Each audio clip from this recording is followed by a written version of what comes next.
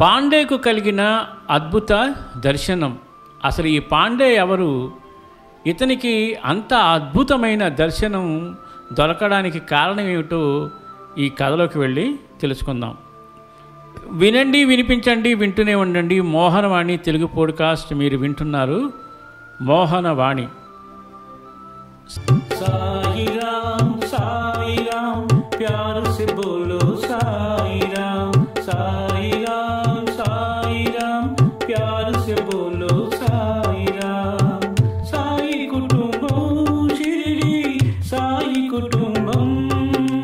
శ్రీ పాండే ఒక బిజినెస్ కాంట్రాక్టర్గా కళ్యాణ్ దగ్గరలో ఉన్న వితరన్ అనే ప్రాంతంలో పనిచేస్తున్నాడు.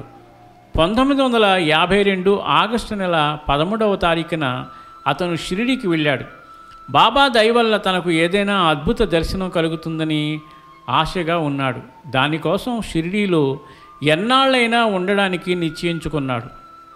ఇరవై ఒకటవ తారీఖున మధ్యాహ్న ఆరతి సమయంలో అతడు దీర్ఘ ధ్యానంలోకి ప్రవేశించడం జరిగింది. దాంట్లో బాబాను చూశాడు.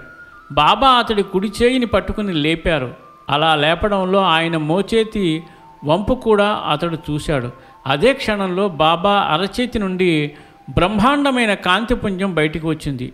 ఆ కాంతి వర్తులాకారంగా మారింది.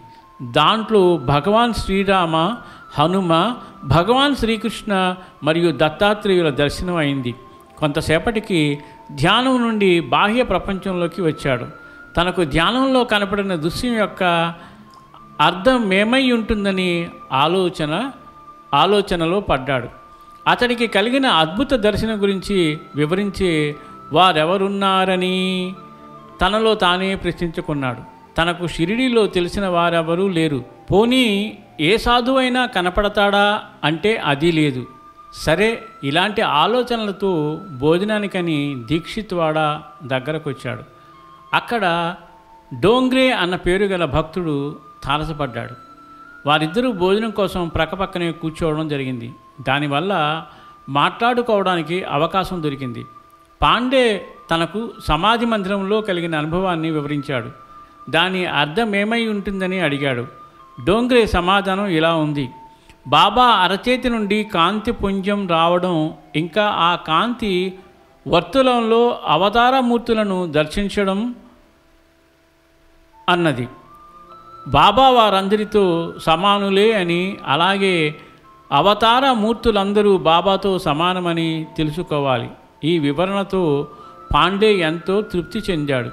అటువంటి అనుభవం కోసమే తాను షిరిడిలో ఉండడాన్ని సమర్థించుకున్నాడు. దాని తర్వాత ఎంతో సంతోషంగా ఇంటికి తిరిగి వచ్చాడు. ప్యారు సాయిరాం సాయిరాం ప్యారు సాయి కుటుంబం సాయి కుటుంబం. మోహనవాణి తెలుగు పోడ్కాస్ట్ ఛానల్ని లైక్ షేర్ సబ్స్క్రైబ్ చేయండి. ప్రక్కనున్న గంటను మ్రోగించండి.